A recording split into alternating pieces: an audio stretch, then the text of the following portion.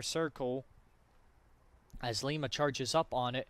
Able to find the opening there with the nice spin move as the Pioneers got some room to work with. Just outside the box now in to Genevard. Genevard takes the shot on goal and gets it in! Jalma Genevard with the goal. First of the year for the Pioneers, first of the season, and Gino gets it in.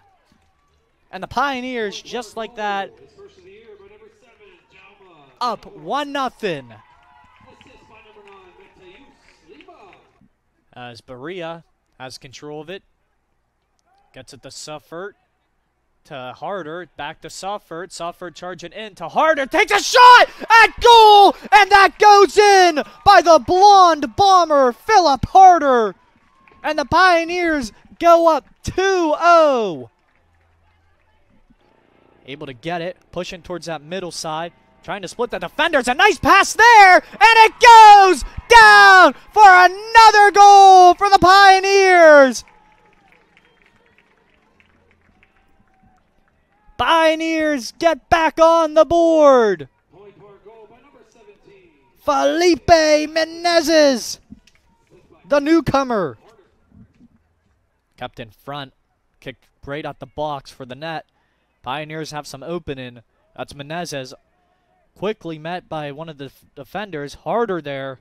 Trying to race towards it.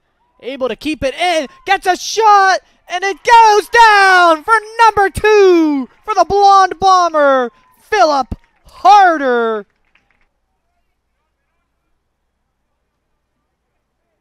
So Montagne working inside, takes a shot at goal, and he gets in on the action.